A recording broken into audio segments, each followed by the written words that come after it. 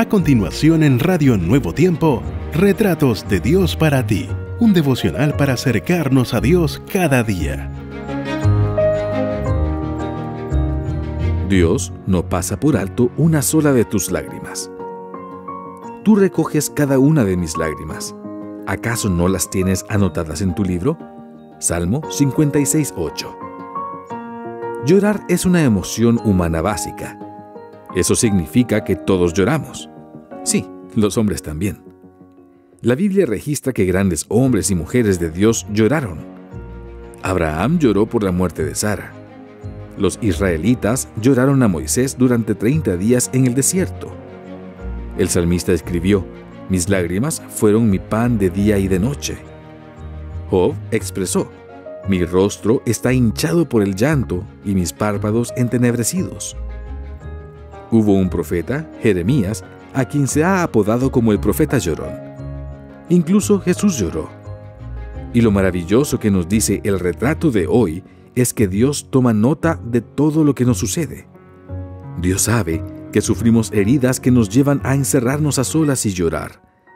Heridas por pecados que hemos cometido. Heridas por palabras duras o trato inhumano que hemos recibido. Heridas de adicciones y conductas que nos cuesta tanto abandonar. Heridas por la muerte de esa persona que marcaba la diferencia en nuestra vida. Heridas de sueños rotos. Heridas antiguas y recientes que aún duelen, aún sangran. Él lo sabe y nos dice, Conozco vuestras lágrimas, yo también he llorado. Conozco los pesares demasiado hondos para ser susurrados a ningún oído humano. No piensen que están solitarios y desamparados. Aunque en la tierra vuestro dolor no toque cuerda sensible alguna, en ningún corazón, mírenme a mí y vivan.